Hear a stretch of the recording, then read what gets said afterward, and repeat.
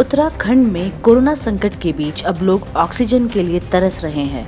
इसकी कमी के कारण लोग दम तोड़ रहे हैं। लोग लंबी लाइनें लगाकर अपनों के लिए साँसें तलाश रहे हैं। ऑक्सीजन की मांग हर दिन बढ़ रही है और इसकी पूर्ति के लिए सभी संसाधन कम पड़ते दिख रहे हैं। आती है, ख़त्म हो जाती है। जैसे कल दोपहर को आए थे, उनका जमा कर जा दिए हमने जमा कर दिया। फिर कहते छः बजे आइए हम छः बजे आए थे। तो आके गाड़ी ख़राब हो गई थी। फिर रात को नौ बजे के बाद मिलेगा। तो नौ बजे के बाद मैं आ नहीं सका। थे महंद हॉस्पिटल में, महंद हॉस्पिटल वालों ने उन्हें डिस्चार्ज कर दिया कि घर में आप सिलेंडर की व्यवस्था करो। सिलेंडर की व्यवस्था चार दिन से बड़ी मुश्किल से छोटा सिलेंडर हुआ है, लेकिन छोटा सिलेंडर आज दो चार घंटे में ख़त्म हो जा रहा है और उसको सरवाइव करने में बड़ी मुश्किल है। अभी हम उसको सरवाइव कर रही है वो लेडी और हम सिलेंडर निकाल के आए बिना ऑक्सीजन के वो। बेड पे लेटी है और उसका ऑक्सीजन 65 टू 70 जा रहा है। फ्लो मीटर का इंतज़ाम मैंने किया फ्लो मीटर जो पाँच सौ रुपये मिलता है, ये मैंने छः हज़ार का मार्केट से ख़रीदा है। स्थिति ये है कि भारत वाले कोशिश तो कर रहे हैं पूरी सप्लाई करने की, लेकिन यहाँ पे भी नहीं हो पा रहा है। बार बार मैसेज आता है कि भारत पे अवेलेबल है, हम यहाँ पे आते हैं, बड़ा सिलेंडर नहीं नहीं मिल पा रहा है। अम्बिका पे भी नहीं है, गुप्ता पे भी नहीं है, कहीं भी बड़ा सिलेंडर की अवेलेबिलिटी नहीं हो पाई है। जितने भी नंबर व्हाट्सएप पे आ रहे हैं कि ये लोग आपकी सेवा करेंगे, मेरे हिसाब से वो सारे नंबर फर्जी हैं।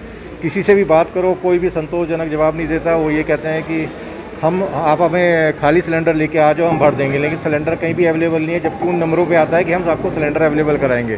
सिर्फ़ वो प्रमोशन है उन नंबरों का, बाकी कोई भी फ़ायदा नहीं है। आम आदमी इस टाइम बहुत ज़्यादा परेशान हो रखा है, सरकार क्या कर रही है मुझे ये नहीं पता। इस टाइम मेरा जो मरीज़ है, वो ऐसा बिना सिलेंडर के बिस्तर पर लेटा है, उस सिलेंडर में यह भरवाने के लिए आया हूँ। एक दो घंटे हो गए, अब उसको कुछ भी हो सकता है, क्योंकि ऑक्सीजन लेवल बहुत लो लो है। अब बड़ी रिक्वेस्ट करके वो सिलेंडर मेरा भर रहे हैं। पर कई बार उन्हें मायूसी का सामना करना पड़ रहा है।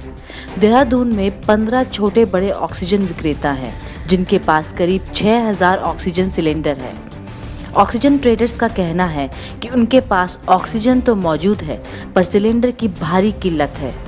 लोग सिलेंडर ले जाकर वापस नहीं कर रहे हैं, जिससे आगे आने वाले लोगों को परेशानी का सामना करना पड़ रहा है। देखो, हम तो सिलेंडर दे नहीं पा रहे, अब हमारे पास सिलेंडर नहीं है बिल्कुल भी। जितने भी हमने सिलेंडर पीछे पंद्रह से बीस दिनों में दिए हैं, उस सिलेंडरों की हमारे पास रिकवरी एक की भी नहीं आ रही।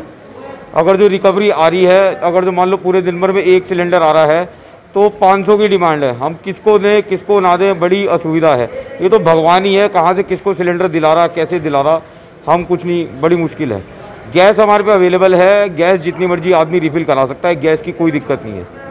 सिलेंडर तो कोई भी नहीं है जी। सिलेंडर छोटा, बड़ा गया, दस लीटर, चालीस लीटर, बीस लीटर। रिफिलिंग को लेकर कोई दिक्कत नहीं है, रिफिलिंग बराबर चल रही है। थोड़ा विलम्ब हो जाता है कि गैस ऐसा ना लिमिटेड है। तो जब आएगी, ख़त्म हो जाती है तो फिर दोबारा आएगी। तो थोड़ा समय तो लगेगा ही लगेगा ना। पहले जिस चीज़ की डिमांड नहीं थी, आज भरपूर डिमांड है तो कहाँ से एकदम पैदा हो जाएगी? एकदम तो कुछ भी नहीं हो सकता ना। देवभूमि इंसाइडर की खास रिपोर्ट